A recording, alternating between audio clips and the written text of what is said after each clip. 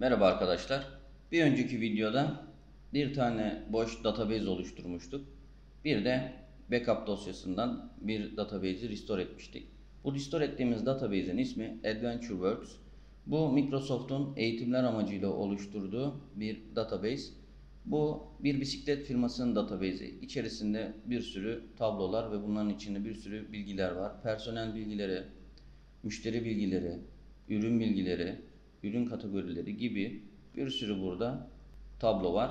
Bunların hepsinin üzerinde sorgular yapıp çalışmalar yapabiliyoruz. Şimdi biz bu derslerimizde çok sorgular üzerine odaklanmayacağız. Bu o amaçlı bir ders değil. Tamamen MS SQL Server nasıl işletilir, nelere dikkat edilir bunun üzerinden ilerleyeceğim. Bu tarz database'ler bir takım uygulamalarla kullanılabiliyor. Bunlar web bazlı olabilir ya da masaüstü uygulamaları olabilir. Ama nihayetinde server client ilişkisi vardır ve server'a bağlanıp gerekli dataları çekip ekranınızda gösterebilir. Ben bunun için ufak bir program yazdım. Kendi programlama bilgim dahilinde. Çok uzman değilim programlama konusunda ama hobi olarak ilgileniyorum. Burada müşteri listele dediğimde müşteri tablosundan bana bilgileri getiriyor. Burada görmüş olduğunuz gibi 290 tane müşterimiz varmış bizim.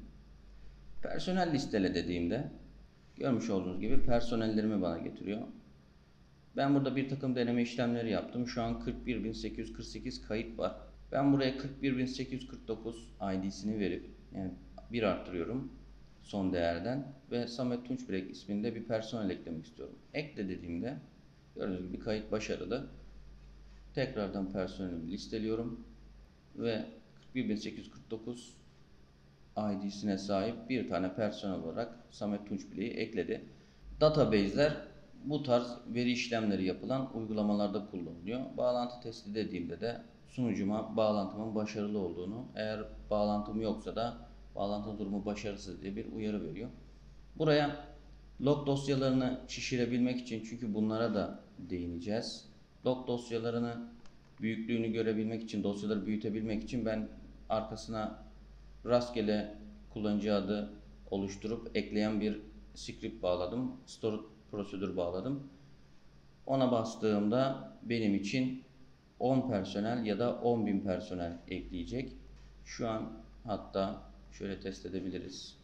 41.849 tane personel vardı. 10 personel ekle diyorum ve bunun arkasına bir başarıyla eklendi diye bir pop-up koymadığım için şu an bana bir uyarı vermiyor ama eklemiştir. Personel listele diyorum.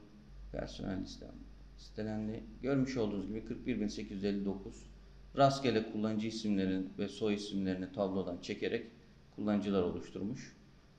David ismi tekerrür etmiş, Matias ismi tekerrür etmiş ama çok sorun değil.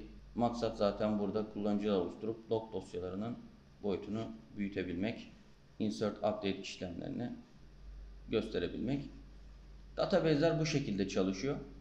Server client mantığı da bu şekildedir. Bu eğitim serisinde Always On'dan da bahsedeceğiz.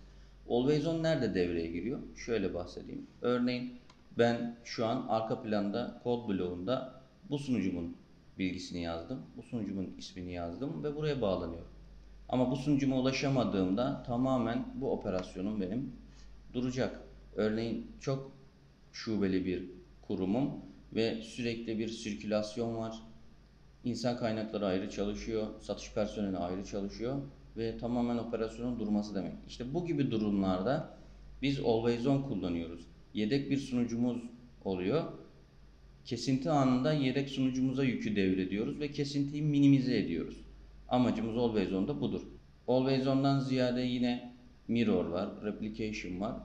Bunlar çoğaltılabilir ama ben burada en çok kullanılan ve artık günümüzde de tercih edilen always on'dan bahsedeceğim. İşte bu gibi senaryolar için biz artık ortamlarımızı buna göre ayarlayacağız. Buna gelmeden önce ufak yine SQL üzerinde değinmek istediğim backup alma, log dosyası shrink etme gibi operasyonel işlemler var. Burada maintenance planlar oluşturma, index reboot işlemlerinden sonra da bu işleme geçeceğiz. Çünkü bu işlemleri bilmeden onlara geçmek biraz ezbercilik olacak. Bu işlemlerde always on'dan sonra farklılaşarak kullanacağız çünkü. Bu videomuz bu kadar. Sonraki videoda görüşmek üzere. Hoşçakalın.